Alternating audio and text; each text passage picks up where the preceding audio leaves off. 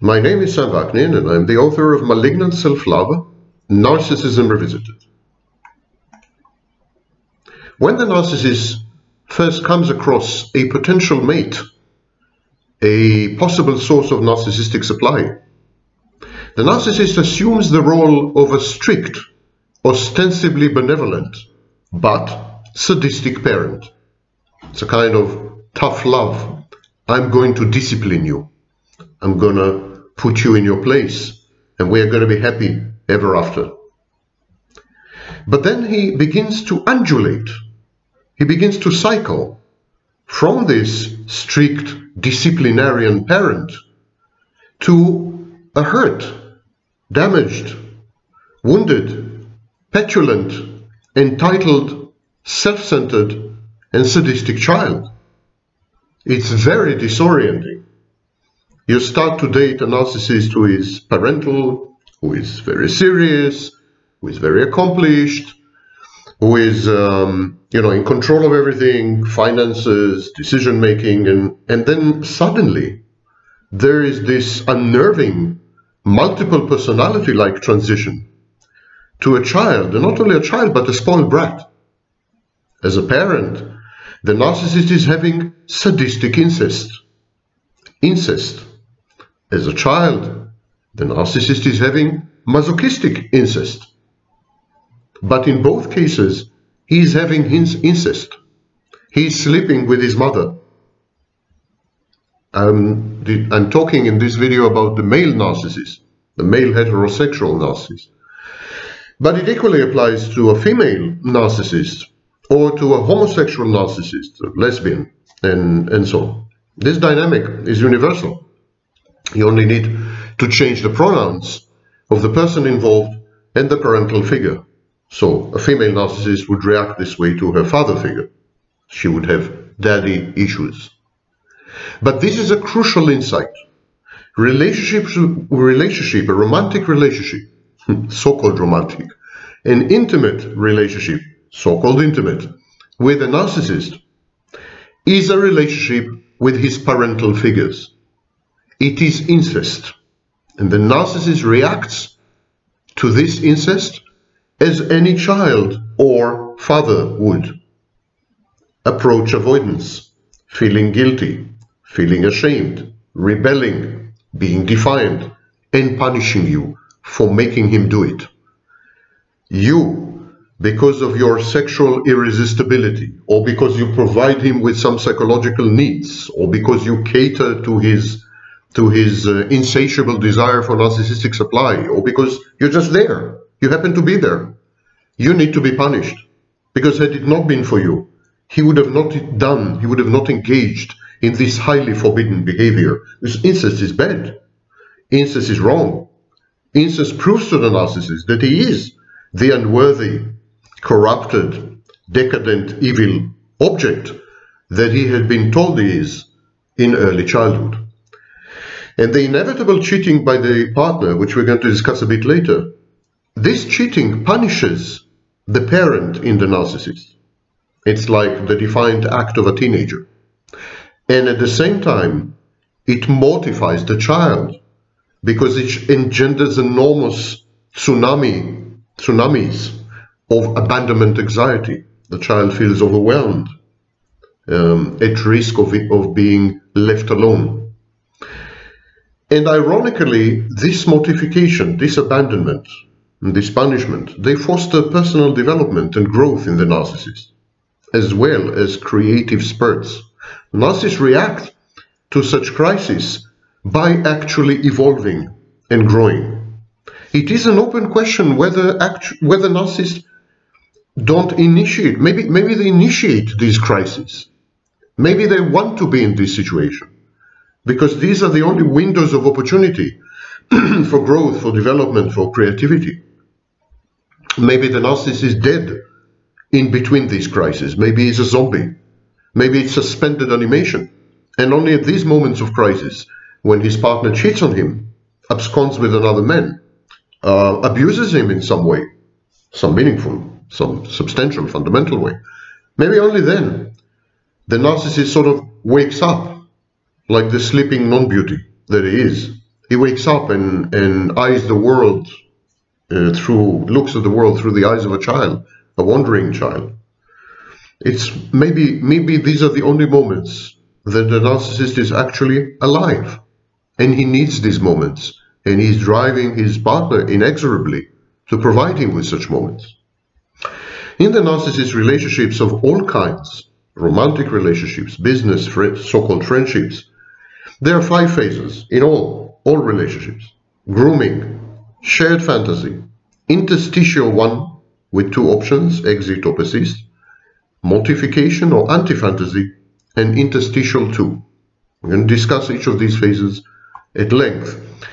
We have dwelt upon these some of these phases. I've dwelt upon some of these phases in previous videos. Um, for example, shared fantasy is explored in several videos. But today I'm going to I'm going to discuss them much more deeply. I'm going to tie all the loose ends. Now, my advice to you is listen well, rewind if you have to, time and again. Listen well, take notes, position yourself in one of the sub-sub elements of this cycle. Because if you are able to position yourself properly, you will be able to predict the future. You will be able to foretell the narcissist's conduct, his choices, his decisions, and you'll be able to design preemptive coping strategies. So, finding yourself, finding your relationship, finding your interaction with the narcissist within this cycle is of crucial importance to you. So, a few observations before we go into the cycle itself. In the grooming phase, the narcissist lies. He makes false promises. For example, if it's a woman, he will make false promises for a committed relationship. Why does he lie? If it's a business, he would make promises, you know, to deliver some mega deal or his contacts in Tokyo. But why would he lie? He, would li he lies in order to acquire a partner for the shared fantasy. And this partner fulfills several functions an admirer, a playmate, and a mother or a father. And this partner has to provide the three S's sex, supply, and services in the case of a woman. And the narcissist expects his woman to provide these three S's in highly specific ways. For example, when it comes to sex, most narcissists are kinky. They expect kinky sex or even sadistic sex. We're going to discuss all this a bit later. We're at the stage of making observations, sharing some observation, sharing some observations with you before we we delve, before we dive, scuba dive into the the narcissist uh, cycle of relationship. And so when the woman starts to ask for the pledged commitment, for the intimacy that she had been promised, the narcissist withdraws and abuses. He, he had lied, but when someone tries to cash the check, he becomes abusive. And so sad and mad, the woman usually reacts by triangulating and by misbehaving with men. And then the narcissist, the sex between the partners becomes conventional, and the narcissist can even develop symptoms like erectile dysfunction. At any rate, he begins to decathect. He begins to withdraw whatever emotional investment he had put into the relationship. He begins to be absent and cold and detached and scheming and calculating. You can see it in his eyes. He becomes a lot more psychopathic. And then he withdraws the sex, so there's emotional absence, sex withdrawal, and abuse. And this is essentially the sequence false promises, which are very convincing and create a shared psychosis, if you wish definitely a shared fantasy. Then the partner comes, tries to cash the check, tries to have the promises fulfilled. Narcissist gets very angry, very abusive, becomes emotionally absent, withdraws the sex, and so on. The woman feels rejected and abandoned, and she cheats. The majority of women end up cheating or at the very least misbehaving with men. And sometimes she even cheats with the narcissist's knowledge and encouragement as a way to get rid of her presence and demands even, even if the narcissist and the woman continue to cohabit. And we come to this variant a bit later. It's, it's um, not a common variant, but it exists. The narcissist uses women for gratification. as sources of supply, as slaves to provide services, and as sex toys in immature, sadistic ways. In the grooming and shared fantasy phases, the woman must become an infatuated admirer in order to give the narcissist the power to sadistically hurt and abuse her. Um, after this phase of this stage of this part of observations within the video, I'm going to go into the most intricate details of the cycle, where you will be able to position yourself. So bear with me, listen to the observations until we get to the cycle. As a playmate, the woman must act as an extreme sexual and emotional submissive masochist, as the narcissist tortures her psychologically and degrades her physically. Yummy. The shared fantasy revolves around love, companionship. These are mislabels, of course. The narcissist labels, for example, his gratification at receiving narcissistic supply, coupled with his abandonment anxiety. He calls this love. When he does things together with, uh, with his mate, with his spouse, with his partner, these things are usually dictated by the narcissist. It's a narcissist agenda. It's what the narcissist wants to do. But he calls it companionship. So there's a lot of mislabeling going on. And it's, it's all founded on excruciating and agonizing pain and withholding. The woman proves her devotion to the narcissist by accepting such suffering mindlessly. Case in point is Minnie. The woman secures the narcissist's presence in her life by getting him addicted to both narcissistic and sadistic supply. And in such a reciprocal, very sick arrangement, it is there that the narcissist feels safe, calm, elated, intoxicated by his own grandiosity. The partner is withering and shriveling and dying, writhing on the floor, reduced to her former, to reduced to, to a shell and a shadow of her former self. And at the same time, the narcissist thrives. He, he is radiant. He's vital. It's because of this that people say that narcissists are like vampires that take away your vitality. But why does a narcissist need all, needs all these circuitous and convoluted arrangements? Why does it not you know, just go straight, acquires the source, and get on with it? The main reason is sex. The narcissist is not made for casual sex, contra to a lot of misinformation online. Men who engage in casual sex and one-night stands habitually are psychopaths and psychopathic narcissists, not narcissists. Narcissist is not made for casual, for casual sex because casual sex is very narcissistically injurious. It doesn't allow the narcissist to express his grandiosity, his dominance, at the end of the casual sex is discarded. And narcissists recoil from unabashedly promiscuous women, the kind of women who would participate in casual sex, who would initiate it.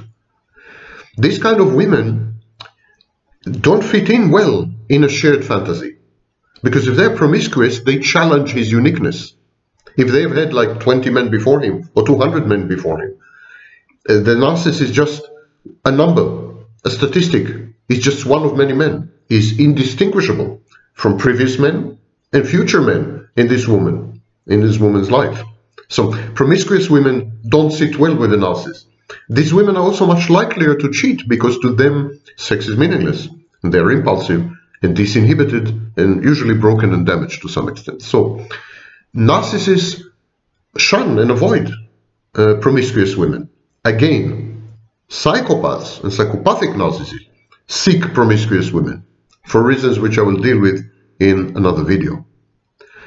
But the narcissist also, while avoiding casual sex, while shunning, decrying, deriding um, uh, promiscuous women as sluts, yet he's not going to be with a slut.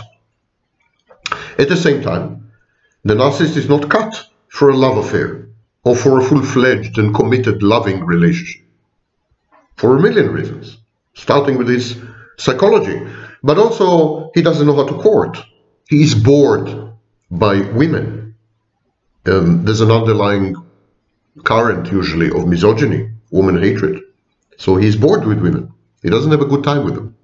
He doesn't want to do, he, he thinks that small talk with women or getting to know women or, or so is a waste of his time.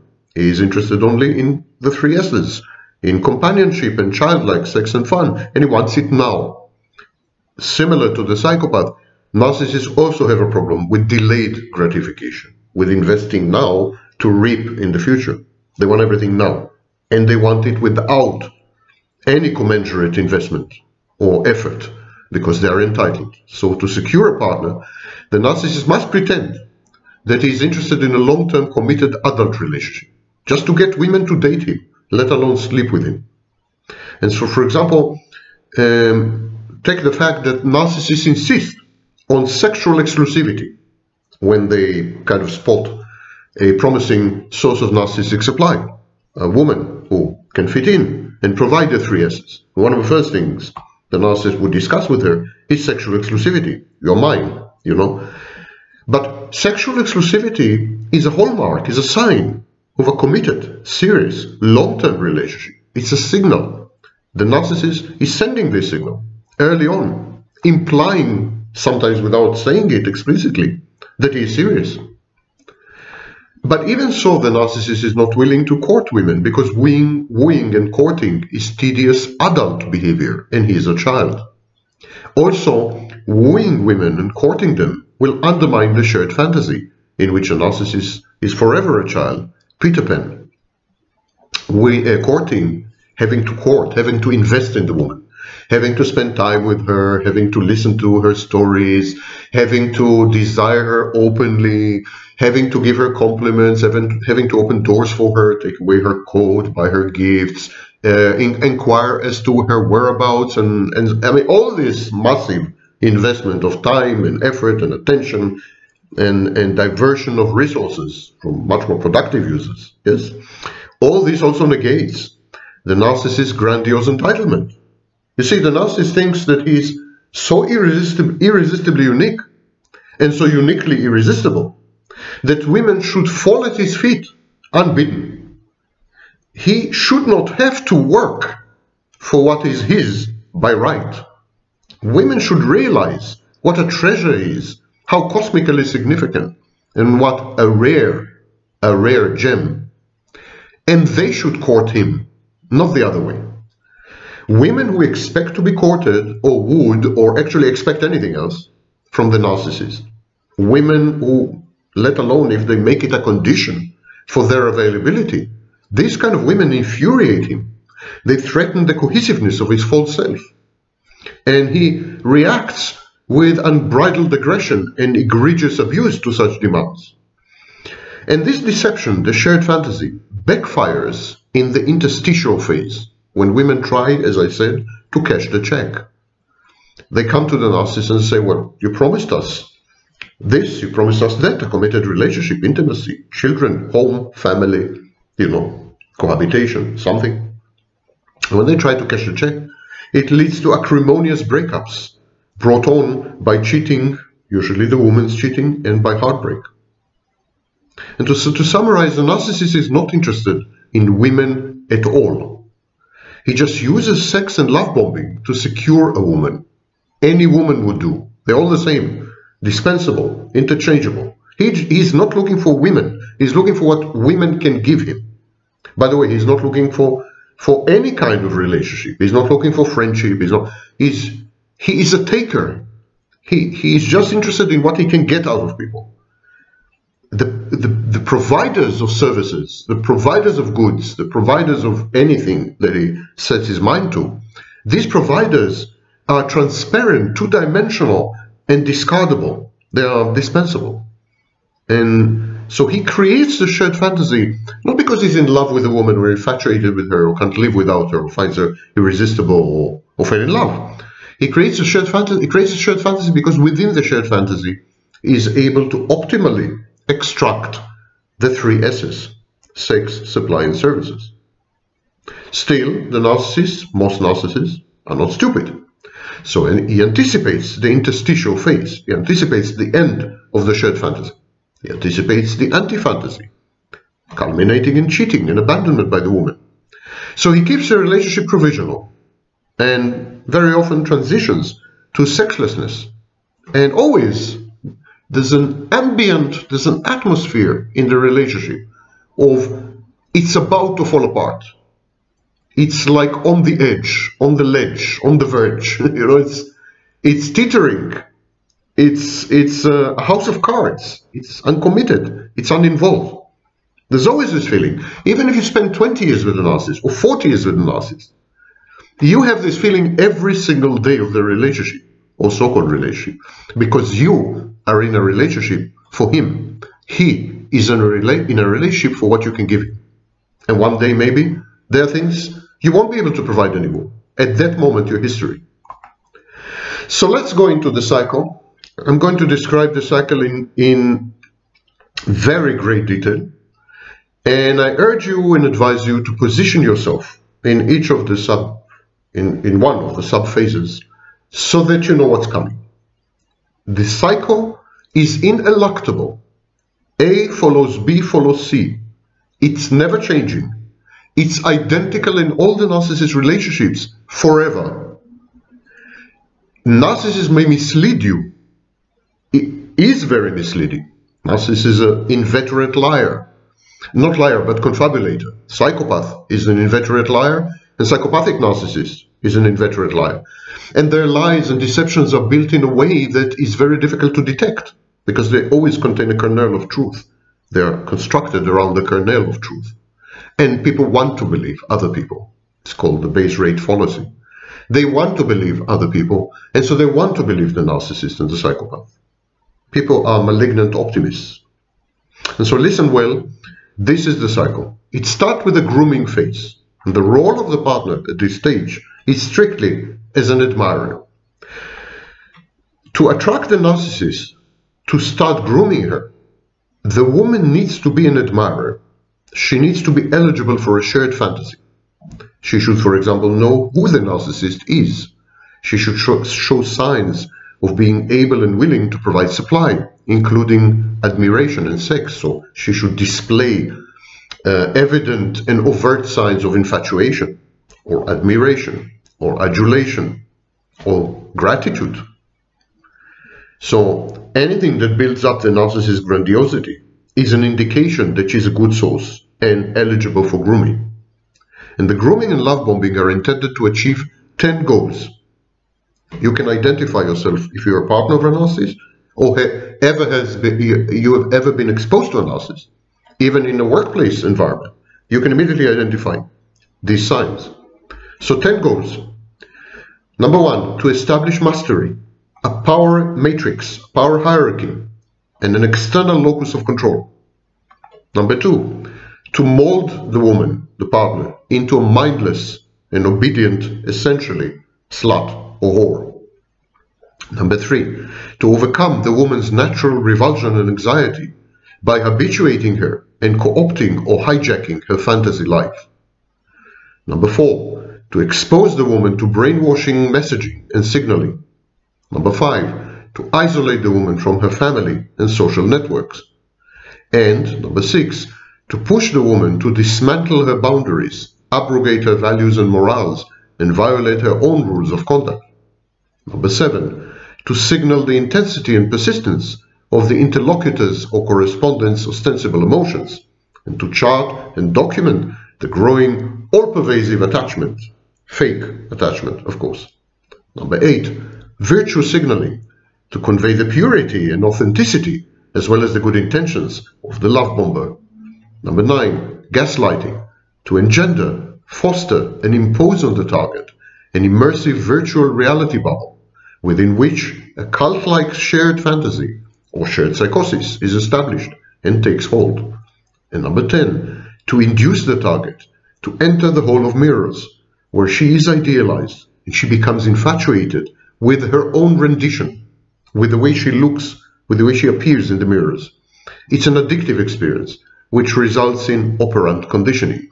When the woman sees herself as the narcissist sees her, totally ideal, perfect, brilliant, irresistible, drop dead gorgeous, stunning, etc., etc., she herself gets infatuated with herself. She becomes infatuated with herself. She falls in love with herself. And that's it, for many women, it's the first experience of self-love, and it's very addictive. It grants the love bomber with the power to withhold access to this contraption as a way to modify the target's behavior. And this is called intermittent reinforcement. You don't behave, I will deny you access to my hall of mirrors where you can see yourself. It's, it's narcissism by proxy. It's contagious narcissism. The woman sees herself in the hall of mirrors the same way Narcissus, the, the mythological youth, saw himself in the pond and fell in love with himself. She falls in love with herself. But, but, there's a keeper of the mirrors. And this keeper has the key. And you have to behave to be granted access to this hall of mirror. Now, I dedicated a whole video um, to love bombing and grooming. And if you want more about this topic, you can watch this video. So put together, these create a shared psychotic space. I'm saying psychotic because it has no reality testing. It's not real. It's delusional. It's fictitious. It's like a movie. And so within this shared psychotic space, the shared fantasy thrives on false promises and false premises. And there's a make-believe role play of both parties. It takes two to tango. It takes two to tangle. The role play is of both parties. The difference is that the partner's role play is dictated by the narcissist. It's a kind of emergent role play, but dictated by the narcissist. And the narcissist role play is determined by the narcissist. The narcissist is in control of the role play. So let's move on from the grooming phase to the shared fantasy phase. This phase involves infatuation, continued love bombing, the honeymoon period. And the sexuality in this phase is usually sadistic, humiliation, kink, and there is sexual exclusivity as a condition. Narcissist at this stage of shared fantasy demands sexual exclusivity. The role of a partner in this phase is a playmate. And so in the first encounters, the narcissist assumes the role, as I said, of a strict, ostensibly benevolent, but sadistic parent. He provides tough love. But then suddenly, shockingly, abruptly, unexpectedly, nightmarishly, he transitions and becomes a wounded, hurt, petulant, entitled, self-centered, and sadistic child. A really evil, bad, spoiled brat, like Henry James's stories. As a parent, the narcissist is having sadistic incest with his partner. As a child, he's having masochistic incest. And so the inevitable cheating by the partner punishes the parent element and mortifies the child. And as I said before, it pushes the narcissist to evolve, to gain insight, to develop. His arrested development is no longer arrested and he grows a bit and he's even creative in this period. So, for the shared fantasy to subsist and to exist, both parties must lie to themselves. The partner must lie to herself that the narcissist means what he says, that he has every intention of carrying out his promises, um, that is not maybe a narcissist or a liar. Or if he is a bad guy, or if he is a damaged guy, or even if he is a narcissist, she will be the one to fix him. It's a malignant optimism. It's the Messiah savior complex inverted. Usually women are looking, some types of women, borderline for example, they are looking for Messiah protector savior types. But in a shared fantasy, it is a woman that assumes this role it's a maternal role, yeah? And she says, with my love, with my acceptance, with the warmth that I provide, with the home that I will build for him, I will make him feel so safe. I'll make him feel, I will salve his wounds.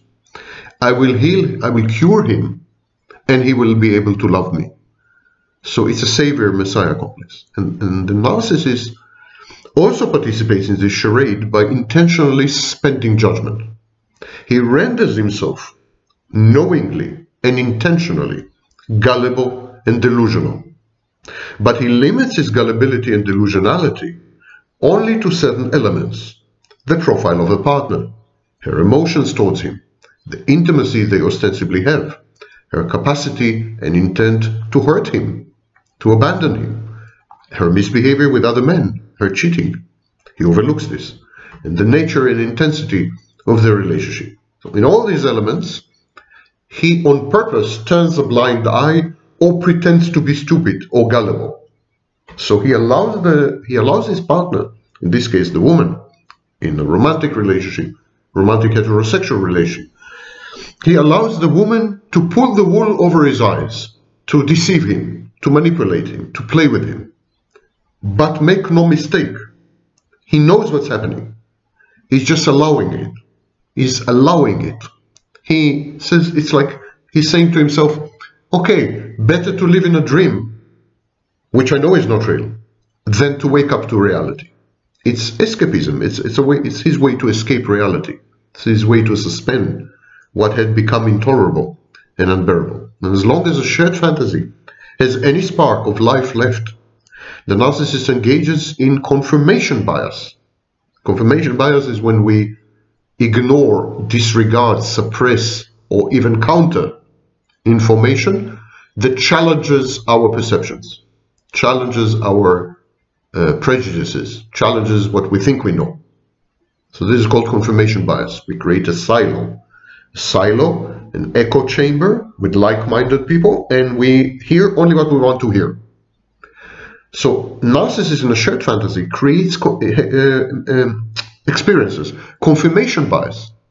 And the confirmation bias supports his grandiosity and the idealization of the maternal safe base aspects of his partners. In other words, the narcissist convinces himself that the partner will not hurt him, will not abandon him, will not act against his best interests, will not compromise him, will not betray him. And this is called safe base.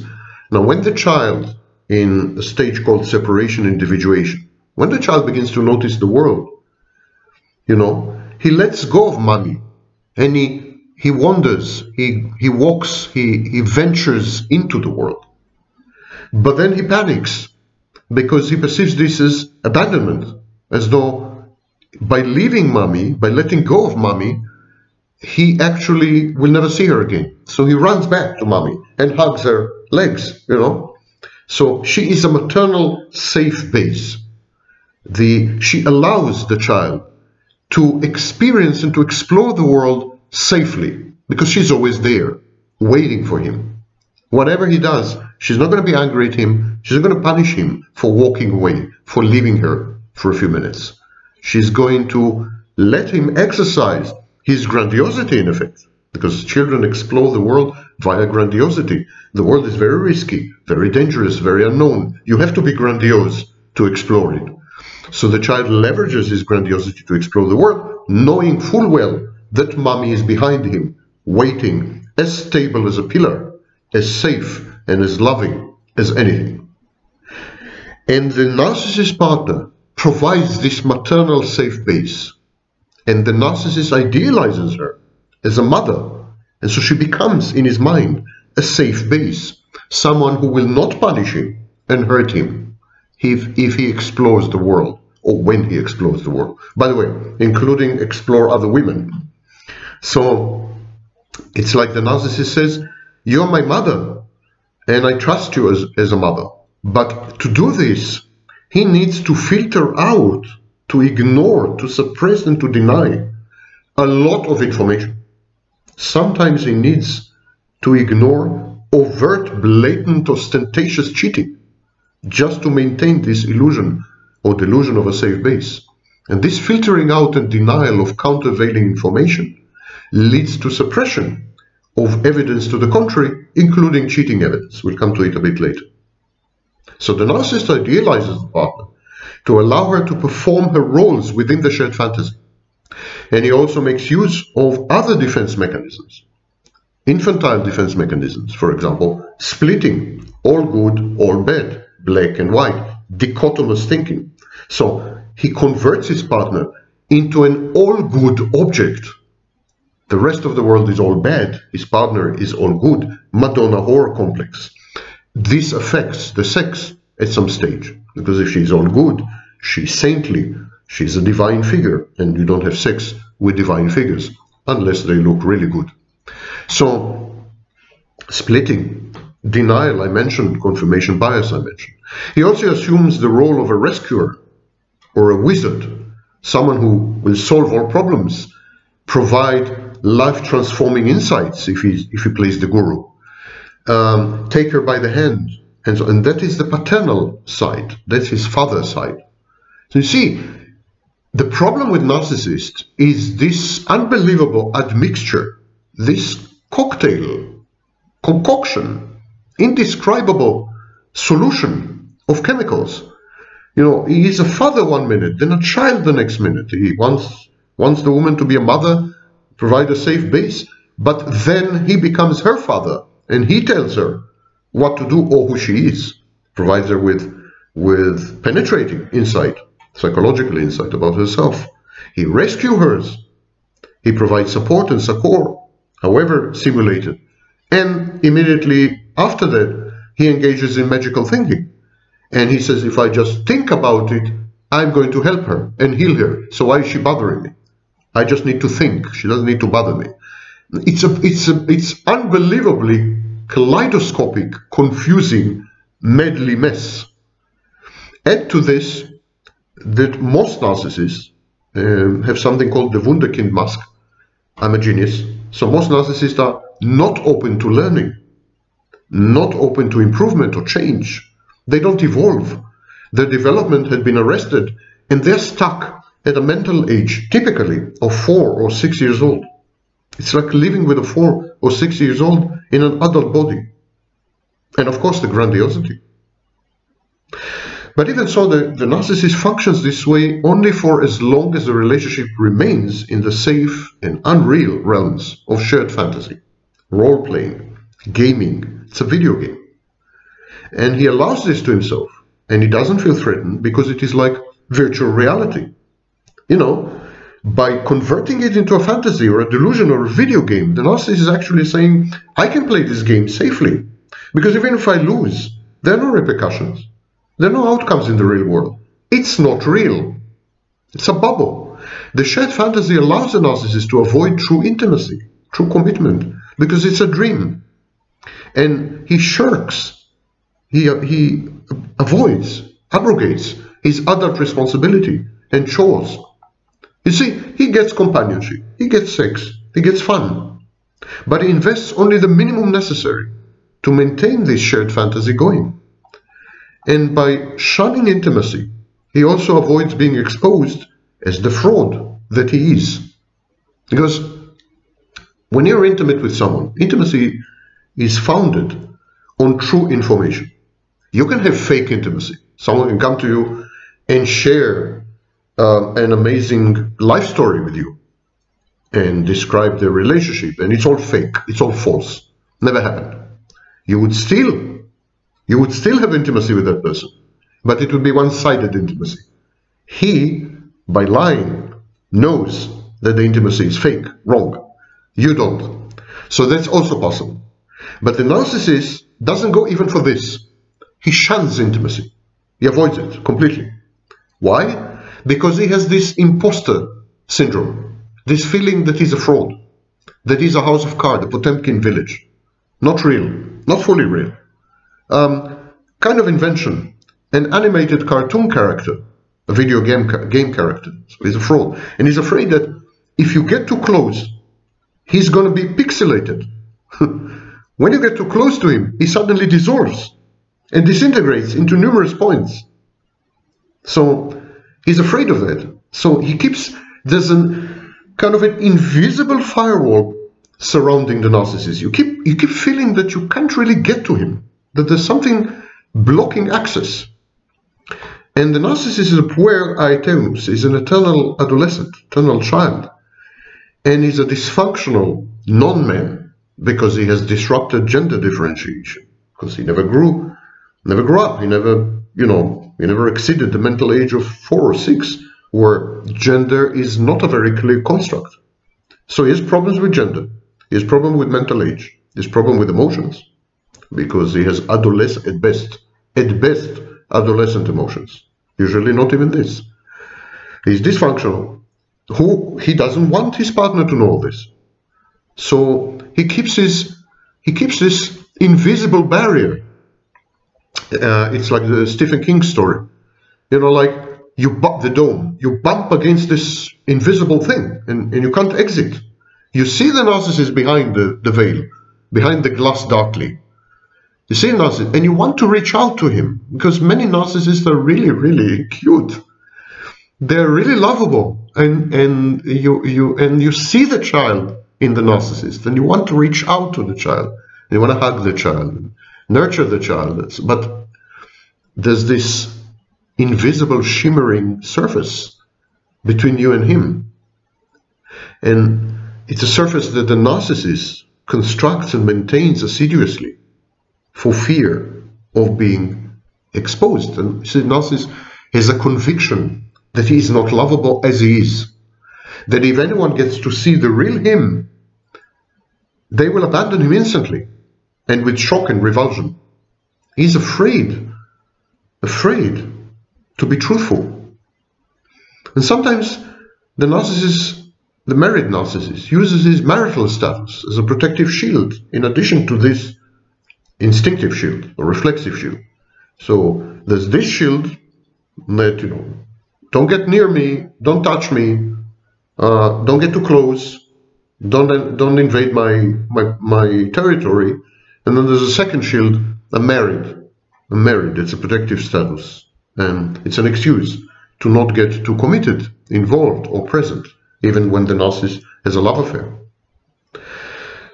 The fantasy phase feels to the narcissist like a role playing game, like a movie set. The narcissist is an actor following an unpredictable, thrilling, unfolding script. Or most narcissists, especially the antisocial ones, most narcissists are novelty seeking. They engage in risky recklessness, and in this sense, they are very similar to psychopaths. So the narcissist in his shared, in the shared fantasy phase is a child in a sandbox. He's playing with animate toys. You. You are an animated toy in a theme park adventure, a thrill. You're, you're a theme park attraction. You're an attraction. You're an attraction. He wants to ride you like a roller coaster, and I'm not talking only about sex. The narcissist shuns anything remotely adult. Many narcissists don't drive, don't have a driving license. Some, many of them don't have children, don't pay taxes, don't, don't own real estate or homes, don't buy gifts. These are things adults do. They want to grow up. They're Peter Pans. Peter Pan openly says in the book, I, I strongly, strongly advise you to reread Peter Pan by Barrie. Peter Pan, a work of fiction, ostensibly, allegedly, is, is actually the best description ever of the inner workings of the mind of the narcissist and what he does to women who love him. Tinker loves him, and Wendy loves him. See what he does to these women.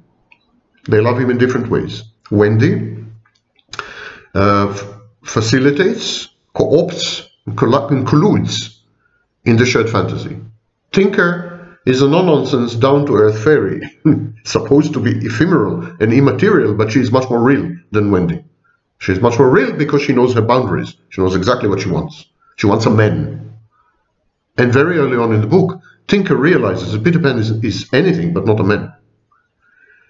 And so the narcissist lies about everything all the time, especially about himself. But he doesn't perceive these as lies. He perceives these as probable or plausible compensations for dissociative gaps. And we call this confabulation. And he does this in order to avoid intimacy, to avoid commitment. Of course, if, if it's a psychopathic narcissist, sadistic narcissist, or psychopath, they lie. They knowingly, advertently, intentionally, and in a planned manner lie. And one of the main reasons for this is to withhold intimacy and to under, undermine any commitment.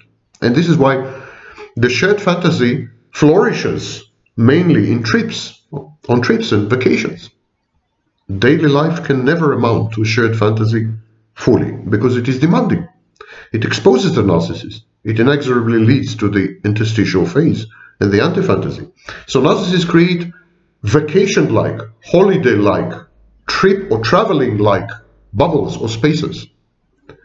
Um, so if they have a relationship, they would construct it in a way that would look much more like spending time in a holiday together, holiday destination, vacation destination, staycation, if you wish.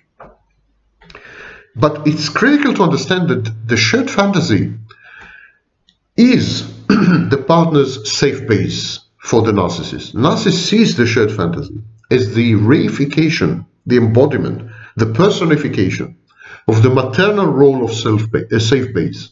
Why? Because it's a fantasy. It feels safe because it is not real. The, the shared fantasy includes elements such as intermittent sex, fun, companionship, supply, adventure, easy money, easy gifts. Narcissists, by the way, identify gifts and money as love, being cared for. It's what mothers do. They give gifts, they give money. It's a maternal function. But all these elements um, exist in a shared fantasy, but it's still unreal. It's still a bit like dreaming these things. Because it's unreal, it's totally safe. Because it's safe, it allows the narcissist, gives the narcissist the energy to explore the world. Narcissist is very alive at this stage. He he feels, um, he feels resuscitated. He feels resurrected. It's like Frankenstein, you know. It's like the electricity of shared fantasy goes streams through her, through his hitherto moribund body, and he he gets up. He wakes up. Yeah, you can see the seams. You can see the different parts. It's almost falling apart, but it's alive. It's a golem. It walks, it talks. The partner's shared fantasy usually revolves around marriage, children, home, being an intimate couple, doing something together. And so the shared fantasy of the partner and the shared fantasy of the narcissist are not the same. It is this discrepancy, this disagreement about the nature of the shared fantasy that undoes it it's, it's the root of its undoing. But it's critical to understand that both parties, the narcissist and his intimate partner, both of them agree to share a fantasy. It's not like the partner says, this is not a fantasy, this is reality. And the narcissist says, no, it's not reality, it's a fantasy. No. They both agree to create a fantasy, each for, for his, his or her own reasons. They both seek to evade reality. They both construct a space where they feel hopeful, where they feel fulfilled, and when they can look forward to the future. And it's a fantastic space. They both know it. But the partner believes that she can introduce elements into the fantasy, like children, or marriage, or home, or doing something together, or whatever, traveling. She, she believes she can introduce elements to the fantasy that would not undermine the fantastic nature of the shared space, while the narcissist disagrees. He thinks that if you introduce to the shared fantasy pedestrian, routine, average, common elements, like, for example, owning a home, getting married, having children, it undermines the very fantastic nature of the space. He believes the fantasy is everything that is non-adult. This is the core disagreement with the partner then the, both of them, the partner and the narcissist, agree to create a fantasy. But the partner says, let's create an adult fantasy. Wow, that sounds good. Let's create an adult fantasy. And the narcissist says, no, I want my fantasy to be childlike. It's exactly like the Little Prince, Saint-Exupéry, and his book, Little Prince. The, if you read, the second book I advise you to read. Read Peter Pan and The Little Prince, and you know everything you have to know about narcissists in that book, it's clear that the prince has a fantasy, and the aviator, the, the aviator whose airplane crashed in the desert, in the Sahara Desert, also has a fantasy. But they disagree about the nature of the fantasy at the beginning, in the initial dialogue. The narcissist mislabels his shared fantasy and calls it love. But it's not, of course, because love is founded on truth, on reality. Crucial. Real love is, is reality. And real love is never dependence and never fantastic and never creates a merger or a union of two organisms with into a single organism with two heads. This is codependency, it's not love. So narcissist mislabels his fantasy. And then as tensions, because of these disagreements, as tensions accumulate within the shared fantasy, the parties move inexorably, can't stop it, into interstitial phase one. And in interstitial phase one, which is the third phase, grooming, shared fantasy, interstitial phase one. In interstitial phase one, they have two options. Option one is, and the first option is exit. So now we're talking about interstitial phase one, option one, exit.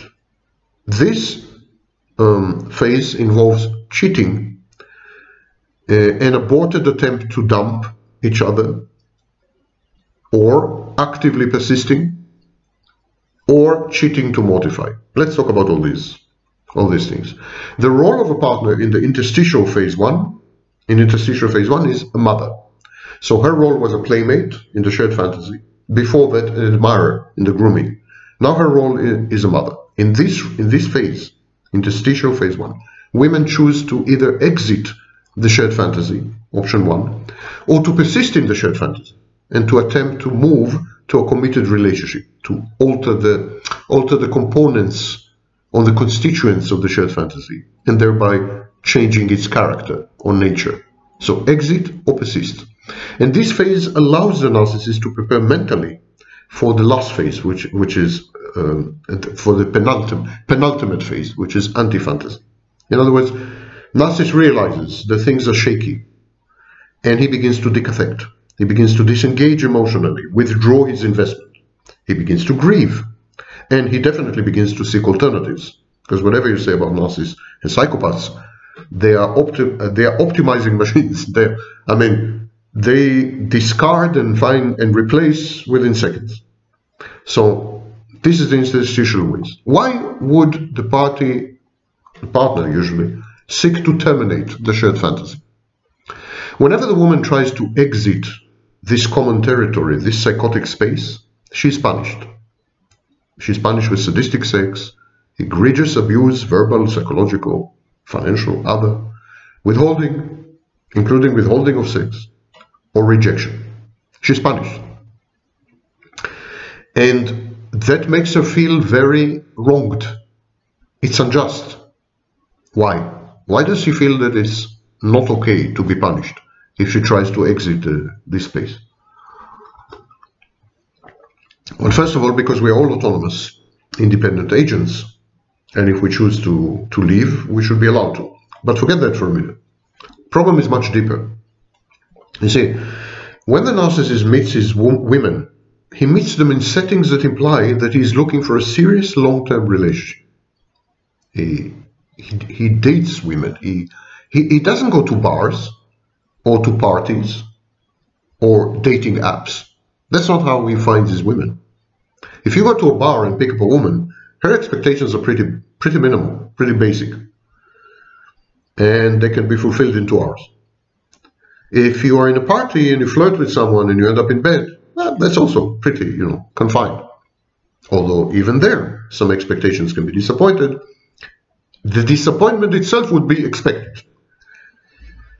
But if you flirt with someone for six months, um, or you know, you date them for for weeks, it's a signal.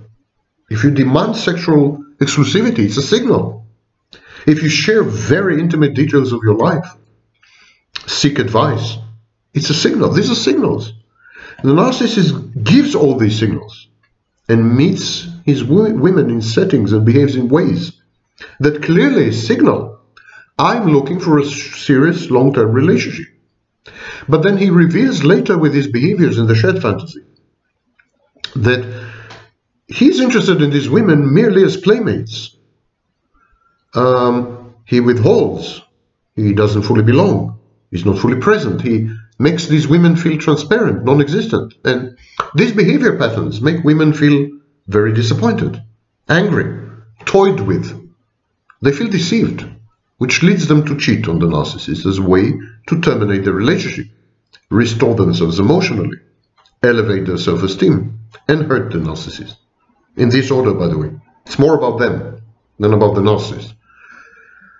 So this defiant act of independence ending up in bed with another man, even if it's if it's a one night stand. It's a defiant act. It's symbolic, symbolic severing of the of the bond, the trauma bond, the relationship, and it's it's intended to restore the the woman's autonomy and self-efficacy, restore her as an agent. She's an object. She wants to become a human being again, an agent. And cheating is one way. Cheating, I mean, having sex with another man, is one way of doing this. It's a signal of independence. And that's why, in many of these cases, the women actually inform the narcissist of what had happened. Or they, they pick up men in the narcissist when the narcissist is present. I mean, they make sure the narcissist knows about it so that there's no way back or to force the narcissist to dump them or to empower themselves to make them feel so strong and restored that they will get get the nerve to walk away. It's all about trying to sever the sick miasma that the relationship had become. Because the shared fantasy is so psychotic, so detached, so unreal, that it starts as a dream, but in, invariably ends as a nightmare. Narcissist reifies object inconstancy. He, I don't know, he deletes uh, chats and emails, or he's married, or is in touch with multiple women, or he triangulates, so he so he is unavailable even if even as as he claims to be available and he plays, he harps on the partner's abandonment, own abandonment anxiety. And this leads to, to the dissolution, disintegration of the partner. And she counter-triangulates and cheats. Very often just as a, as a way to restore herself and, and to get out, get the hell out of there. Yeah. Women reject their permanent role, permanent role in the shared fantasy as mere sex slaves or sex buddies playmates, toys, co-fantasies. Women want more from the relationship and they want exclusivity. In this phase, women refuse to continue to realize the narcissist's sexually sadistic fantasies. They revert and transition to conventional vanilla sex. And um, when their demands and expectations are not met, women don't feel that they have to meet the demands and expectations of the partner. My demands are not met, why should I meet your demands? And so there's a deterioration, a deterioration in the reciprocity of the relationship and the goodwill, I would say. The, the goodwill reserves, goodwill deposits dwindle. And women uh, sometimes deny sex or withhold sex or insist on non-satisfying conventional sex as a manipulative tactic to manipulate the narcissist, to wake him up to get a rise out of him, same reason, for the same reason they triangulate, same reason they cheat. Or because there is no longer a quid pro quo. All this happens in the interstitial phase, when the woman decides to exit the relationship. And the narcissist reacts to all these maneuvers by losing sexual interest in the woman and by experiencing sometimes occasional erectile dysfunction. Let's talk about a bit more about cheating. Finally, the only way open to the narcissist woman is to resort to another man, with whom she can create an alternative sanctuary, however fantastic and brief. Now, I can hear the chorus of voices. I never cheated on my narcissist. I don't cheat. I will never cheat. I this, I that. I am not saying that all women, all, all the partners, all the intimate partners female intimate partners or narcissists cheat. That's not what I'm saying. Some of them cheat, some of them don't cheat. However, cheating is an option in the mind of all these women. Do not believe a woman who would tell you, I never thought about cheating on you. Do not believe that. She may, because she is inhibited, or because she's well socialized, or because she's she has a high higher self-esteem for whatever reason she may opt to not cheat but she had considered cheating and considered cheating with specific individuals with candidates just held herself back cheating is the only way open to, to a woman to, to kind of uh, escape this madness of the shared fantasy. And it fulfills several functions simultaneously. And this is why cheating is an, gradually becomes an irresistible choice. Now, of course, at some point, many women would say, rather than cheat, I prefer to walk away. And, and other women would cheat as a way to walk, of walking away.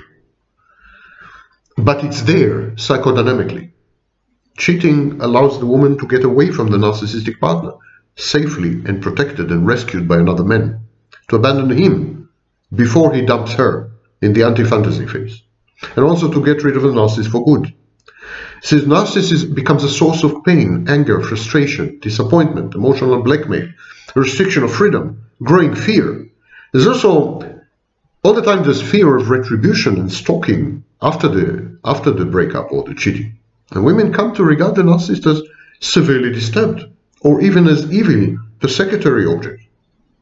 And so there's a lot of incentive to walk away with, with another man. There's kind of intuitive feeling that that other man is a sort of protection. And there's also the, the thing that it's a symbolic act of defiance, independence, and autonomy. It's it's cutting the Gordian knot, you know. Um, the, the personality or the identity of the other man is very rarely, very, very rarely relevant. It's, the other man is also a symbol, is also a kind of tool or instrument to exit the relationship. And again, the cheating doesn't have to be actual. There could be emotional affairs. Or the cheating could play, take place in the woman's mind and just the fact that she had considered it would be sufficient.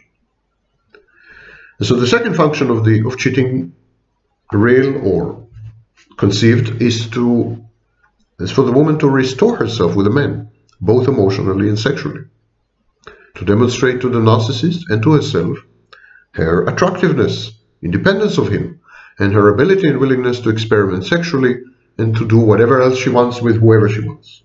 And finally, of course, there's always the element of hurting and punishing the narcissist. Remember, this is the interstitial phase exit strategy, option one. In an active shared fantasy, the problem is that discrete cheating will not yield a transition to anti-fantasy. So the woman needs to cheat in order to mortify the narcissist. She needs to ostentatiously cheat. She needs to humiliate him in the act of cheating. She needs him to know what had happened. She needs him to witness what had happened. To irrevocably undermine the shared fantasy as mortification sets in and is fully processed. There are four videos on this channel which deal with narcissistic mortification.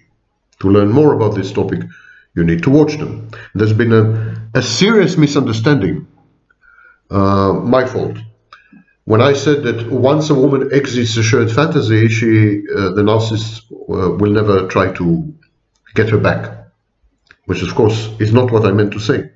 Narcissists hoover, hoover previous sources of supply. Hoovering is a term that I coined. Uh, sources of supply. It's they they come back again and again to women who had who had left them and exited the, the life. So that's all I was trying to say. I was trying to say that under certain conditions, if the woman lives in a specific way then the narcissist will shun and avoid her because she is a source of danger. She's a threat. She's a, so if a woman lives, for example, by mortifying, then the narcissist would avoid her. If a woman lives, uh, um, we'll come to it. We'll come to it a bit a bit later. But generally speaking, the, the cheating needs to mortify to obtain the goal of interstitial phase one. The woman, as I said, is then perceived as a threat. Cheating to mortify, cheating in order to mortify, allows the woman to decathect, to disengage from the narcissist emotionally. At this stage, she is disillusioned. And she counters her addiction, her trauma bonding, by transferring her attachment and emotions to another man. Now, these attachment and emotions could be very short term, very shallow, they could lead to a one night stand or casual sex or nothing, flirting all night. It, it's just that she violates, breaks the unspoken agreement of sexual exclusivity or emotional exclusivity. That symbolic act is in itself sufficient, like raising the flag, you know. And so she transfers her attachment and emotions to another man, her interest, her intimacy, her openness, her trust, her gratitude to another man. And usually she does it in public, or she makes sure that the narcissist gets to learn about all this. And it, by doing this, she both abandons the narcissist and abrogates her maternal role. And from that moment, the narcissist will find it very difficult to regard her as a self, a safe base mother, because she hurt him. He did not believe that she will hurt him, but she hurt him. And so there are two types of shared fantasy. One is aborted shared fantasy, and one is active shared fantasy.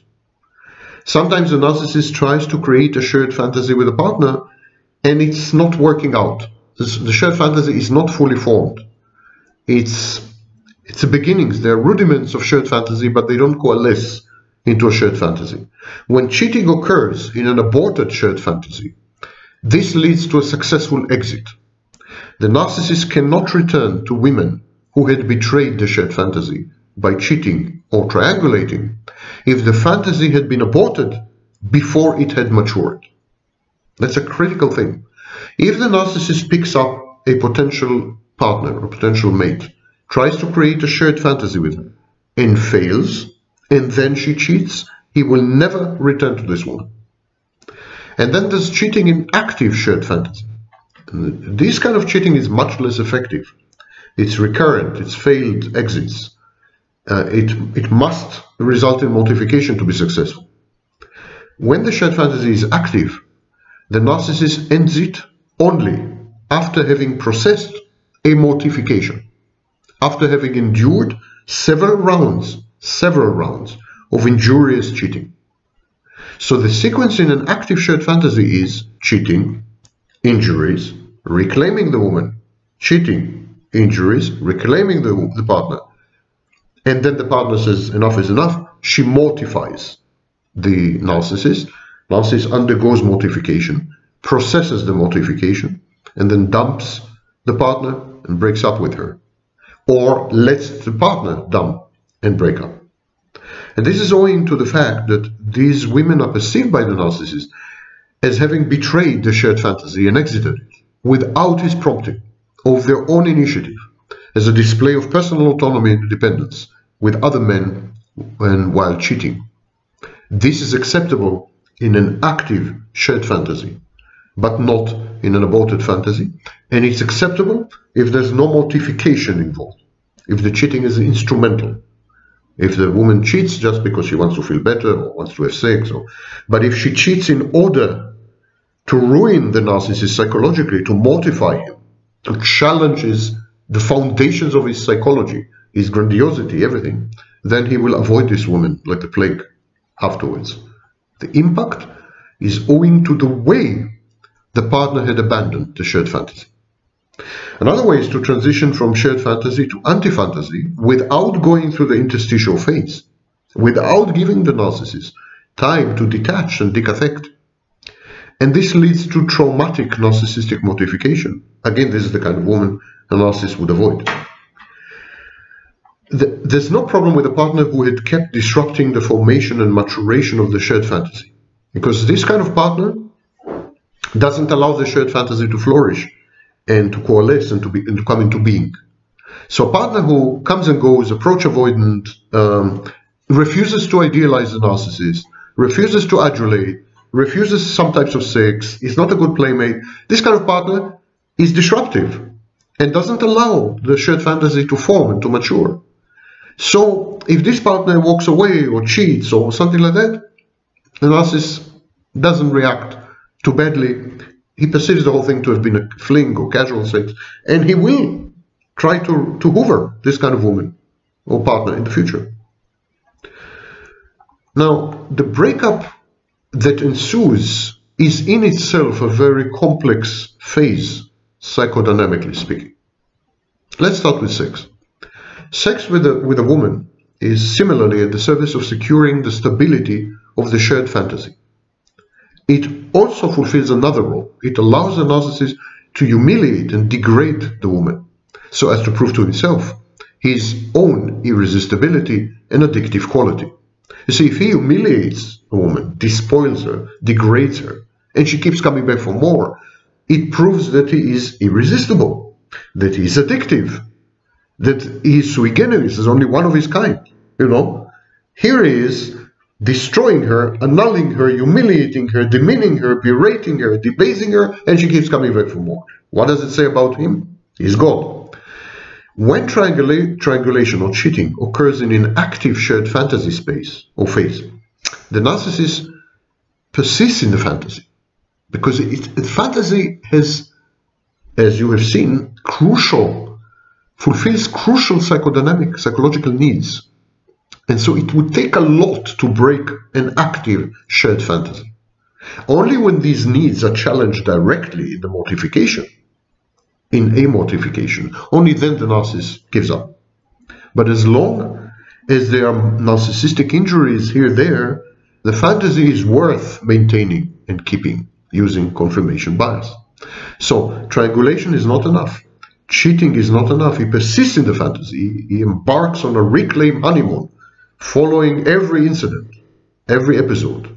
And of course, this reclaim honeymoon doesn't last long and is followed by abuse and absence. And this forces the woman to escalate. She she flirts, doesn't work. She triangulates, doesn't work. She cheats, doesn't work.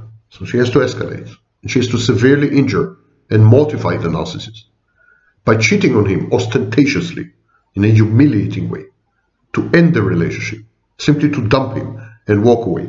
Now, this is cheating. When I say cheating, it's a form of mortification. There are many other forms of mortification the betrayal of trust, the ruination or destruction of the safe base element in the relationship It can be done in many ways. She could steal all his money. There's a famous, there's a very good movie, The uh, Best Offer, where an old recluse, reclusive bachelor um, art collector falls in love with a ravishing, stunning, but mentally ill uh, woman. Or she pretends to be mentally ill. She absconds with all his art collection and his money. So there are many ways to, to mortify. I'm focusing on cheating and sex because this is the most common way, actually. But a woman partner, narcissist intimate partner, can mortify the narcissist in many other ways. If the shared fantasy, I, I remind you, if the shared fantasy is aborted or does not mature, the narcissist dumps the woman immediately after her triangulation and cheating, and he suffers only narcissistic injury. But once dumped by either party, the shared fantasy is over. A relationship can continue, but the fantasy is over. And it cannot be revived by either party, even if the will is there, even if they try, even if the woman remains in a narcissist's life, even if she returns to him, he returns to her. The shared fantasy is dead. Once dead, always dead. Even if he hoovers this kind of woman, this woman, in the future, he will hoover her not as, is a partner for a shared fantasy, or if he creates a shared, uh, recreates a shared fantasy with her, it will be, will be with such reserve and so many preconditions that actually it will be more transactional. So there's been a breakup and there's a process of grieving and moving on. As the narcissist is attached not to the shared fantasy itself or to any of its details, but to the way he had felt in the shared fantasy. This is very crucial. Narcissist is not attached to his partner. He doesn't fondly remember what they had done together. He doesn't even put emphasis on the sex.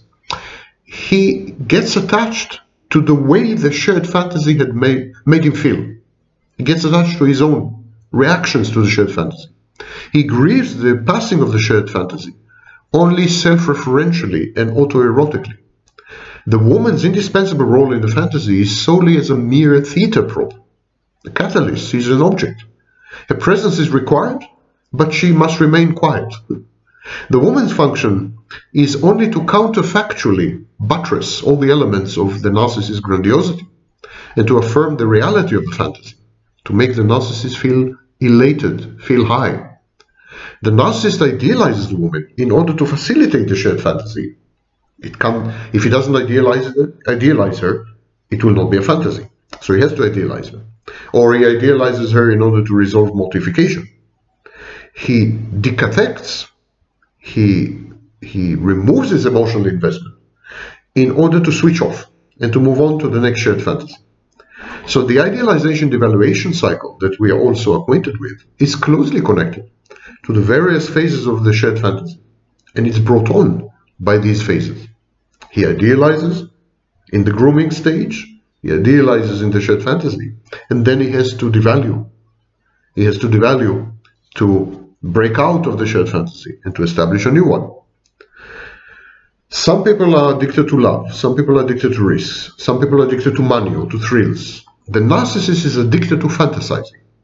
And it's fantasizing not only in romantic relationships, he fantasizes in, in, in business. Narcissists are well known for consistently coming up with get rich quick schemes and harebrained um, projects. He likes to fantasize. Fantasy is the permanent state of mind and being of the narcissist. It's where he feels most safe, most comfortable, most calm, most happy. The cathexis, the emotional investment, is in the shared fantasy, or actually more precisely in the way the shared fantasy is experienced, not in the woman, not in the relationship. And this is why when the narcissist accepts the fantasy's demise, he disengages, he switches off, he decathects overnight, and he transitions with alacrity to the next shared fantasy. Intimate partners of narcissists keep keep musing, keep complaining, keep being shocked at the speed with which the narcissist transitioned from the relationship to another one. You know, he dumped them on Wednesday, and on Friday he has a new a new wife, and on Monday she's pregnant. I mean, they're shocked at this instant transition. I've witnessed a transition which which took 20 minutes. Witnessed with my own eyes. A psychopathic, borderline narcissistic, grandiose woman who transitioned in a few minutes.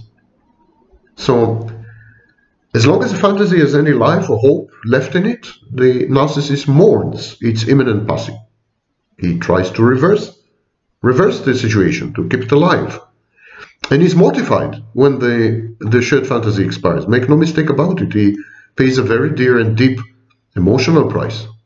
And that is, but, but that is why the narcissist never grieves over any aspect of the woman, of the relationship. The shared fantasy in which he is exclusively invested is a state of mind. It's not a reality. It's the way he interacted and interfaced with the fantasy that he mourns, that he misses.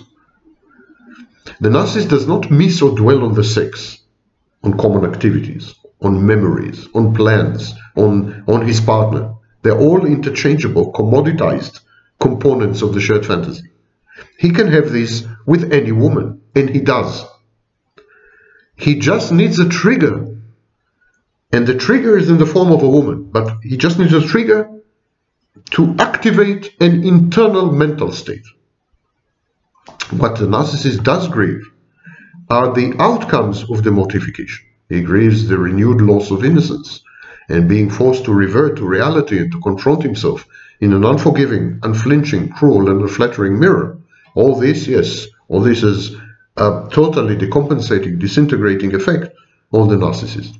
But that's more or less it. The narcissist grieves and mourns himself. Now there's another variant of interstitial phase one, another option, and that is the option to persist. This option involves frustration, the sexuality becomes conventional, the sex, and still there is a presumption of exclusivity. The narcissist partners mistake the shared fantasy phase. They think it's a passing, temporary, love bombing or infatuation um, stage, and it's going to be followed by the implementation of realistic plans, or at the very least, realistic fantasy. adult fantasy, fantasy that involves uh, life, elements of life, like I, I mentioned before, home, business, uh, doing business, creating a home, having children, making a family. So the the narcissist intimate partners are much more grounded in adult chores, responsibilities, and in Weltanschauung, view of life. And when they start pushing for more, the narcissist becomes indecisive and approach avoidant. As long as this discontent, this friction, this disagreement is not translated to specific demands, ultimatums, withholding, conflict, or betrayal and cheating, the narcissist pretends and continues to act as though everyone is still on the same shared fantasy phase, uh, page. But it can't last for long. It can't last for long, and, and uh, it leads to an anti-fantasy phase. And the anti-fantasy phase, phase four of the five, involves mortification, decoupling. Sexuality is, is uh, non-existent. Sexless, sexlessness, celibacy, abstinence. And, and in some cases, partners wish to stay together, they create open relationships. The minute the partner tries to transition from simulation to reality, the minute the partner refuses to participate in the shared fantasy, the minute the partner tries to convert the shared fantasy into some modicum of adult reality, the minute the partner attempts to extract unilateral benefits, material or otherwise, she moves in to live with the narcissist or meets the narcissist regularly. She demands sex, the narcissist time, attention, sharing, which is boring. The minute she obstructs his work or interferes with it, the minute she grandiosely claims a share in or control of the shared fantasy or any of its elements, the minute she rejects the narcissist's sexuality and criticizes his sexual performance or proclivities, the minute she has any overt expectations, the minute she makes any demands or ultimatums of any kind, verbally abuses the narcissist, narcissistically injures the narcissist, the minute she triangulates, she flirts, she misbehaves with other men, spends time with them, cheats on the narcissist, betrays the narcissist in any way which mortifies him. That's a critical element, mortification. The minute she questions, disagrees, criticizes, mocks, shows disappointment, withholds, any of the um, three S's, sex, supply, and services. Or the minute she withholds two of the three companionship S's, sex, supply, and services. Or any combination of the above. All these are perceived as criticism and devaluation. They are a challenge to the narcissist's grandiosity and a proof of the partner's worthlessness. She is, I don't know, stupid, needy, dependent, weak, dangerous. She's out to get him. She's a gold digger. It's paranoia, paranoid ideation. Provokes paranoid, the secondary ideation. Shared fantasy dissipates. The cool-headed, unflinching narcopath takes over. And disenchanted, this narcopath instantly and totally gives up on the partner emotionally. He decathects. He discards the fantasy, the role play of the game. Narcissist loses all sexual interest in the woman, begins to verbally abuse her sadistically, pushing all her buttons. In that instant, she's no longer his woman. He doesn't care what she does with other men. He no longer reacts to other men's disrespectful advances on her or comments about her. He wakes up, so to speak. He fully reverts to reality, absenting himself. He may be there physically, but never emotionally or mentally. He becomes a kind of disinterested roommate. He also becomes egregiously verbally abusive and devaluing if he is impinged on, if, if he's kind of pricked or, or addressed. The narcissist sometimes pushes the, partners, the partner to cheat on him with others in order to either cause himself mortification or to terminate the relationship without untoward repercussions or to guilt trip, guilt trip the cheating party into submission. And this instantaneous transition from shared fantasy to transactional reality, it's accomplished in, in sometimes minutes, as I told you. Usually it takes, you know, days and weeks, but I've, I've, I've witnessed such a transition which took minutes.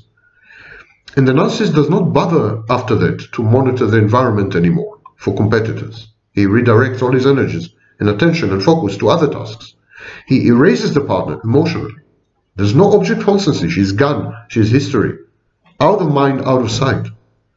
He still reads available cues perfectly, but selectively, in order to affirm that the partner is disrespectful, unfaithful, disloyal, or pervasive liar, etc., which makes it easier for him to decathect. It helps him to move on to the next fantasy roleplay with the next idealized partner, if and when he chooses to do so. It also alerts the narcissist to any pitfalls or risks in the process. So to, to, to decathect, to withdraw emotionally, the narcissist again uses splitting, but this time reverse splitting. At the beginning, the shared fantasy phase, grooming phase, the partner was all good. Now she's all bad. To switch from shared fantasy to anti-fantasy, he renders the partner, he, he sees the partner as a cruel, sadistic, withholding, frustrating, deceitful, abusive, persecutory, maternally cheating object, not safe, dangerous, hostile, an enemy. And he coerces the partner to conform to this role, to enact it. It's something called projective identification. He rejects the partner, he abuses her, he withholds sex and everything else. And this pushes the partner, for example, to cheat or to retaliate, and this upholds his view that she's all bad. But cheating has a role, uh, uh, cheating or abusing the narcissist has a role for the woman as well, for the partner. It allows her to decathect. And so the narcissist's misconduct provokes the partner to flee and, and to seek succor, or to retaliate, or to find another safe man. Sometimes someone who is vastly inferior to the narcissist. So he is unlikely to reject and abuse her and compound her injury. The, in the case of cheating, it causes the narcissist life-threatening pain if it reaches the stage of mortification. But following mortification, he is emotionally free and able to transition to the next shared fantasy. So the two parties collude and collaborate in mortification. The woman wants to mortify the narcissist, so she's set free. And the narcissist wants her to mortify him, so, so that he's set free. They both want to be set free. And the only ticket out is mortification, the narcissist is mortification. Mortification can be minimal if the woman assumes her share of the responsibility or blame for what had happened, or mortification can be major if the woman casts all the responsibility or blame on the narcissist. And uh, uh, um, a prime reason for mortification can be, for example, if the narcissist becomes convinced that he is the bad guy, that his partner did not deserve the horrific, cruel, inhuman abuse that he meted out to them. Now, um, why would a narcissist cast himself as a bad guy? Because then he can say, I made her do it. Because my misbehavior, my misconduct, my abuse, my cruelty, my sadism pushed her to do what she had done. So I, am in control. I'm still the prime mover and shaker and the prime reason, prime cause. It restores his grandiosity. There's another variant where the narcissist feels that he had been wrong and that he's the good guy, the victim and their mortification is reduced or absent altogether. The cheating, she's a bad object, yes, you remember splitting? Cheating makes it impossible for the narcissist to entertain counterfactual, what if ego dystonic fantasies. Um, like, I failed, I misbehaved, let's try again. He can say that when there's no mortification, and he does. Very often the narcissist persists in the fantasy and try again and again and again. But when there's mortification, he cannot say that. He cannot recathect the betraying, betraying mortifying object, the woman. He can have emotional sex with her or ad hoc collaboration in the future, but never again a shared fantasy. Mortification taught him a lesson that she is dangerous. All women react the same to the narcissist in their lives. They're intimidated, confused, exhausted, angry, disappointed. They then seek to hurt the narcissist, but as they walk away or cheat, many of them, out of pity, sometimes try to minimize the pain, the pain they had caused by lying or by minimizing their misbehavior, reframing it. It's a mistake. It's a mistake because if they do this, then the shared fantasy survives. The narcissist will latch on these confabulations and prevarications in order to not be mortified. And he will persist with the shared fantasy. If you want to end this torture, the only way is to mortify the narcissist. You have to be cruel. Borderlines are, for example, some borderlines are secondary psychopaths. And they just don't care about hurting the narcissist grievously at the moment of pursuing the fulfillment of their needs. Regret, shame, and guilt come later. And consequently, these kind of women often mortify the narcissist by putting a cruel mirror to the hideous, grandiose buffoon and obnoxious, repulsive monster that he is. They, kind of women say, any man, any man is preferable to you. You are a horrible person and a deluded fool, full of yourself, fool. And so the narcissist reacts to his own mortification, the way people react to him, with shock, horror, nausea, depression, avoidance, denial, trauma. He may even become psychosomatic, headaches, gastrointestinal symptoms, panic attacks, dyspnea, inability to breathe, shortness of breath, depression, anxiety, aggression, etc. etc. Mortification is crucial if you want to end a shared fantasy. There's no way around it. Half measures, disguises, prevarications, confabulations, and pretensions will get you nowhere. Women realize that at the end. Many of them cheat with other men, and many of them betray in other ways. But I found out that the majority of, of intimate partners of narcissists end up realizing this intuitively and mortifying the narcissist, which leads to the last stage, interstitial phase 2, latency. The narcissist switches from external mortification, caused by the intimate partner, to autoplastic internal mortification, or vice versa from internal mortification to alloplastic external mortification. And usually cycles between these two mortifications.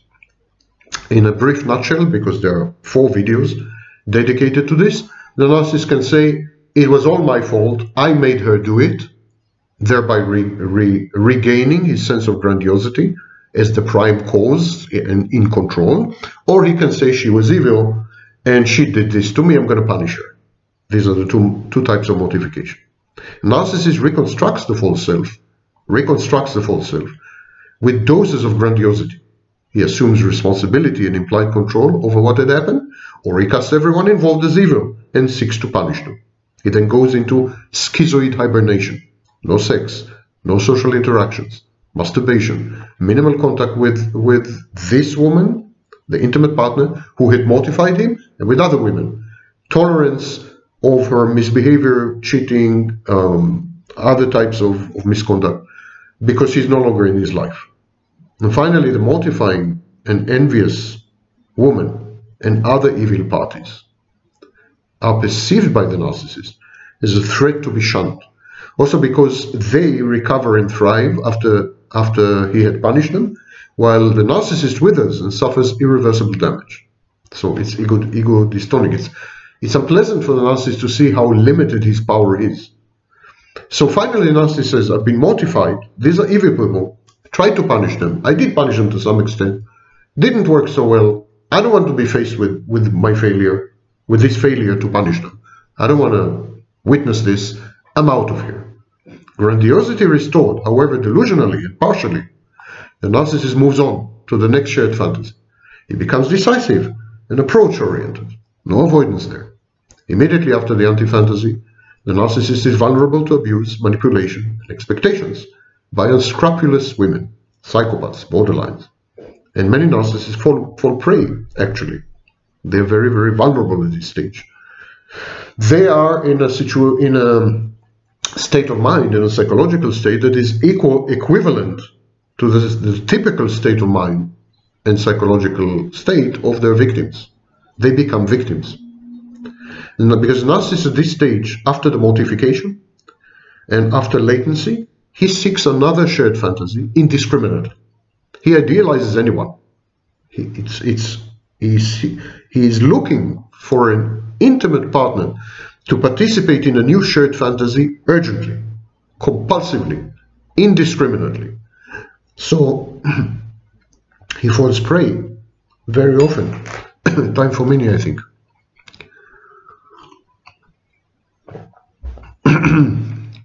restorative meaning. He falls prey very often to psychopathic and so on um, women. Narcissists cannot survive without a shared fantasy for long. Um, narcissistic supply functions depend crucially on, on a shared fantasy. A, narcissist is a grandiose fantasy. That's how he derives narcissistic supply to support a false structure, a false self, falsity, fantasy. He needs this. Without these elements, there's no supply. Without supply, he falls apart. He also needs a maternal substitute. He needs to feel loved and safe. These are mission critical for even minimal functioning of the narcissist. Narcissist is a child. He needs a mummy. He needs a mummy. and he needs constant praise. And then, emboldened, he can venture out into the world and fuck it up all again.